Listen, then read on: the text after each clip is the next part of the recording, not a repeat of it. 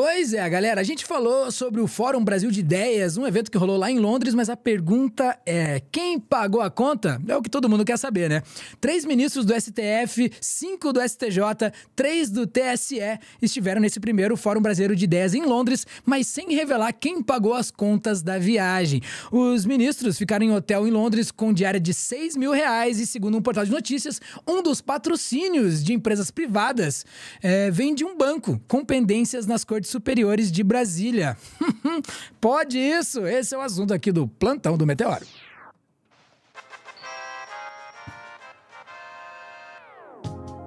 Valeu, Odai. Quer dizer que então, se a gente ligar o VAR, a pergunta vai continuar a mesma. Pode isso ou não? Então, né, a gente estava falando de futebol aqui nesse intervalo, a gente já pode perguntar, pode isso, Arnaldo? Porque é complicado, né? É, o que, que a gente pode já falar sobre esse ato? Para começar, é um fórum de, né, de jurisprudência ali sobre o judiciário brasileiro. E aí você imagina, poxa, que legal, um fórum sobre o judiciário brasileiro, onde? Em Londres. Faz algum sentido, não, não, começa a não fazer muito sentido, mas tudo bem, vamos pois seguir, é. né? Primeiro, né? O primeiro fórum Brasil de Ideias, porque até o nome né, remete ao que ele, né, a seu objetivo principal. E desculpe, a princípio ele... Brasil, né, não Brasil, né? Então é um fórum não. é aqui mesmo, é de nós para nós, só que lá, né? Entende? E aí já começa assim, aí eu fui pesquisar, por exemplo, e o fórum é, jurídico né, do Brasil de Ideias é um fórum, por exemplo, que os ministros, as pessoas convidadas vão falar em português sim. E, é, além de falar em português, elas vão falar sim para brasileiros. Então, assim, já começa a ser. Existe um questionamento todo né, enorme para saber por que esse fórum foi feito na Europa. Mas tudo bem, é um fórum privado, as pessoas pagaram para estar lá, né, estão lá e por aí vai. Não tem um problema quanto a isso. O nosso questionamento é só porque não faz muito sentido se a gente for analisar o que está acontecendo, mas tudo bem. É, e esse fórum, organizado na Europa, ele foi organizado para levar ministros do Supremo Tribunal Federal, do, do TSE, do, do Tribunal do STJ, né, o, Superior Tribunal de Justiça, mas também tem é, pessoas do alto escalão do governo Lula. O ministro da Justiça né, e Segurança Pública, o Ricardo Lewandowski, está também nesse, está convidado né, a participar desse encontro. É, a gente tem também o Jorge Messias, que é o advogado-geral da União, né, da AGU, tem o diretor-geral da Polícia Federal, o Andrei Rodrigues, então são pessoas que estarão nesse evento. É aquele evento que a gente também fala assim, ah, não é qualquer evento. Não, não é qualquer evento, né? E a gente também tem da PGR ali o Paulo Gonet, né? Então, assim, são nomes, figurões da, do judiciário que estão no evento. É, e o que acontece? Algumas pessoas elas estão vão apenas para Londres participar do evento, etc. e tal, e volta para o Brasil. Só que tem gente que participa participa do, do ato né, em Londres, do evento em Londres, e vai ficar, estende um pouquinho a viagem ali, vai para Madrid, e vai ficar por cerca de 15 dias. Né? Então, duas semanas fora do Brasil, essas pessoas vão ficar. Hum, né, passeando, aproveitar que dá para puxar um pouquinho os dias aí, né? É, o que é interessante a gente pontuar sobre isso? Quem está pagando esse evento, ou pelo menos a estadia dos ministros, a estadia das pessoas que foram convidadas a estarem lá. Né? A gente vai ter algumas especulações, mas a gente também tem jornalismo sério sendo feito, e vai ter uma uhum. matéria aí do Poder 360 que vai dizer um pouquinho quais são esses é, possíveis apoiadores aí desse evento, que não quis colocar a marquinha ali naquele banner, né, que as pessoas geralmente aparecem para tirar foto, parece que esse patrocinador, que é um banco que tem pendência no judiciário brasileiro, não colocou a marquinha ali no evento, né? Então vamos lá. Primeiro, o Samuel vai te pedir para mostrar a matéria, né, o vida que nós temos. Uhum que faz esse apunhado, né, trazendo o nome dos ministros que estão relacionados neste evento. Tá aí, tá na tela. Isso. É, na sexta-feira abordamos esse assunto. O Jornal Folha de São Paulo traz uma reportagem hoje falando justamente sobre a falta de transparência é, dessas viagens de ministros do Supremo Tribunal Federal e também do Procurador-Geral da República à Europa. Isso tem chamado bastante atenção nessas últimas semanas, é, é um assunto em destaque. É, eles participam de eventos jurídicos na Europa no intervalo de duas semanas, mas não há informações sobre os pagamentos das viagens, as hospedagens, o período fora do Brasil. Alexandre de Moraes, Gilmar Mendes, Dias Toffoli e Paulo Gonet participaram de um fórum jurídico em Londres na semana passada. Toffoli e Gilmar também aparecem como confirmados para um debate em Madrid na Espanha, na próxima sexta, dia 3 de maio. Um terceiro evento, também na capital espanhola, entre os dias 6 e 8 de maio, prevê a presença de Gilmar Toffoli, Cássio Nunes Marques e do presidente da corte, Luiz Roberto Barroso, tá geral, além de ministros geral, do, tá bom de todo. do STJ e também Gonet. Tem outro evento marcado para Nova York, é, do LIDE, que também tem aí a previsão da participação de ministros é, e também integrantes do governo. Vamos lá, o, o Mairovich, começa com você, até porque é do meio jurídico. É, como que se deve dar essas viagens? É preciso transparência? Somente a transparência já resolve ou não? Ministros do Supremo Tribunal Federal não deveriam participar de eventos como esse. E aí, daí, a gente segue aqui? É para ouvir o que, que o não, Walter vai dizer? Não precisa. Porque o questionamento está né? na mão, né? O questionamento é bem esse. Aí, pode, não pode? Como é que funciona? Exatamente. O questionamento está na mão e a gente volta a afirmar. É porque parece muito surreal quando a gente fala assim: vamos falar sobre o judiciário brasileiro, só com pessoas brasileiras, só com o alto escalão do, do Brasil. É, e com quem a gente vai falar? Aonde a gente vai falar, sabe? E é muito estranho isso acontecer justamente na Europa. Mas tudo bem, né? É, citei muitas pessoas, mas eu não citei o senador Davi Alcolumbre também.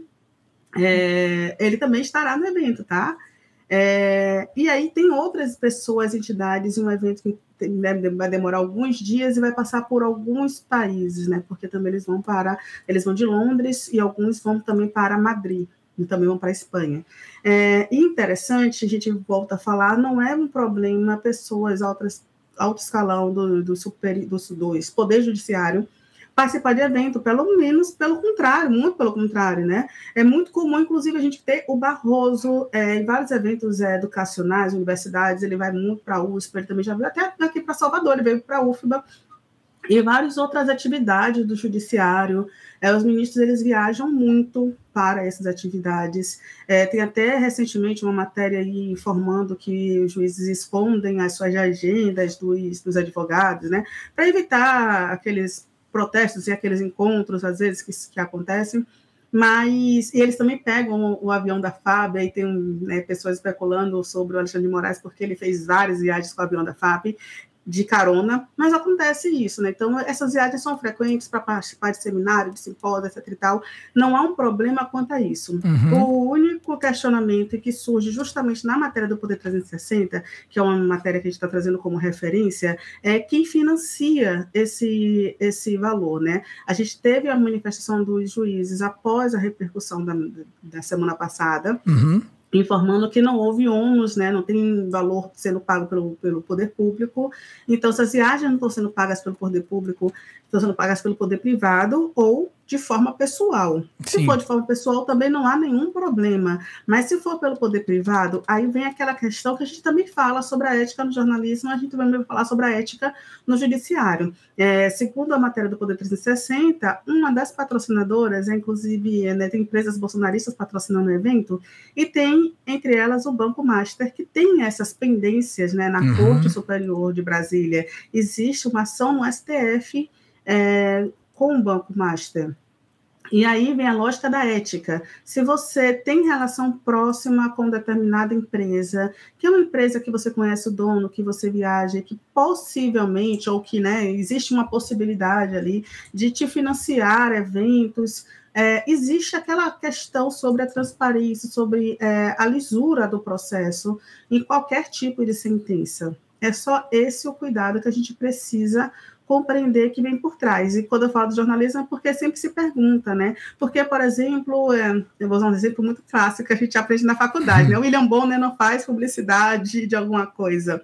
Porque quando você vai noticiar, você precisa ter, de fato, é, uma. É, você precisa ter uma, uma lisura, uma transparência ali de uma isenção, que você vai falar. Sim. Então, né, uma isenção. Por mais que a gente saiba que existem tendências, etc e tal, mas se você é patrocinado por uma marca, você consegue realmente ser imparcial com aquela marca. É, um se conflito você tem uma relação né? muito próxima com o dono, né?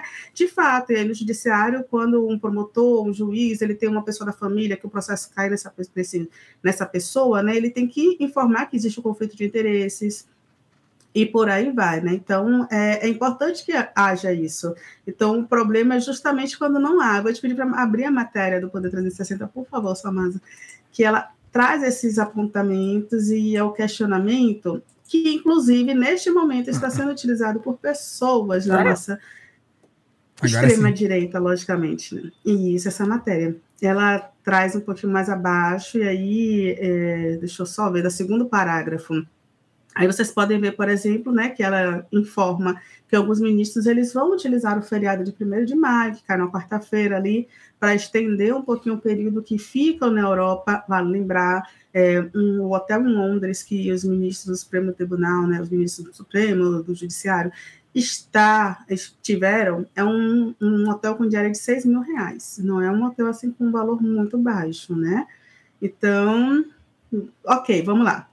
É, e ao todo, eles informam que três autoridades podem ficar até 15 dias na Europa, participando de três eventos, é, políticos, juízes ali, que vão participar desses eventos por tais dias. Gente, são 15 dias de passeio na Europa. Tudo bem que podem ser licenciados, e mais uma vez, que não tem dinheiro público, mas uhum. vale o questionamento sobre é, o interesse por trás de quem financia, quem paga, quem leva, e no final, como esses processos eles vão ter ali uma, uma repercussão, uma lisura. Então, por exemplo, se o processo é, for favorável para a empresa, sempre vai haver aquele questionamento: olha, mas essa empresa não é a empresa que patrocinou o evento tal, então é necessário que haja muito Sim. cuidado sobre uhum. isso. Né? Sem dúvida. Por quê? Porque a extrema-direita vai utilizar isso contra né, o judiciário, porque já gosta de falar mal do judiciário. Uhum. E aí a gente tem quem? Nicolas Ferreira, desculpa, Olha aí. que trouxe o Nicolas. Pô, o, netinho que todo golpista gostaria de ter, né? Tá lá. Exatamente isso. E aí o Nicolas Ferreira, utilizando a rede social dele, porque essa galera adora utilizar a rede social como veículo de comunicação único. O Nicolas, né, vou te pedir para abrir o link. Tá aqui. Ele, obrigada, ele se manifesta dizendo que ele vai solicitar a lei de acesso à informação sobre os gastos de viagens dos ministros, né, do STF, STJ e TSE, junto com os ministros ali aliados, né, de Lula a eventos em Londres arcados com dinheiro público. Ele fala que é dinheiro público, mas a gente volta a afirmar que para que a, a assessoria de comunicação do, do, do, do, judiciário já informou que não houve né, ônus ao Estado, não houve dinheiro público uhum. nessas viagens.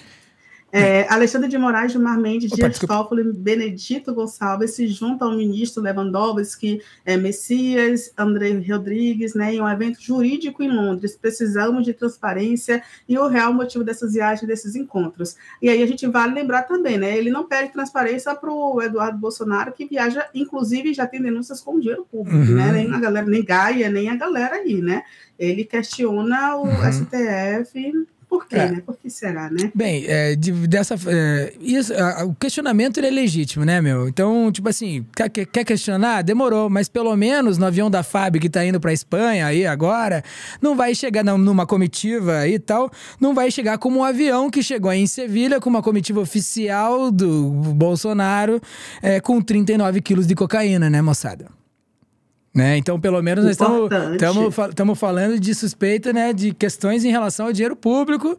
E, na verdade, assim, né? Tipo, estamos sendo criteriosos em relação ao dinheiro público. Não há nenhuma possível suspeita de que alguém estaria levando 39 quilos de cocaína pro, para uma viagem dessa lá. 5 milhões deve valer, assim, né? 40 quilos. 40 não. E aí, que vem, e aí vem um ponto, né, Dai? Quem, le, quem leva 39, leva 40 ou para no 39? Hein? Não sei não. Quem sabe um quilinho desse tenha se perdido aí no meio. Ah, sempre há o que... Não é A gente leva na brincadeira porque sempre há um questionamento. É não, muito absurdo pô, a gente 39 pensar que da fábrica transportando. Mas 39? Sério? 39? tá aí. Fechamos por aqui mais um plantão do Meteoro. Estive aqui com Daiane J. Oliveira. Dá uma olhada no trampo dela lá em Daiane J. Oliveira, nas suas redes sociais. Também em Oguahiro. E nos vemos dentro de instantes em mais um plantão do Meteoro. Beijão, Dai. Beijão.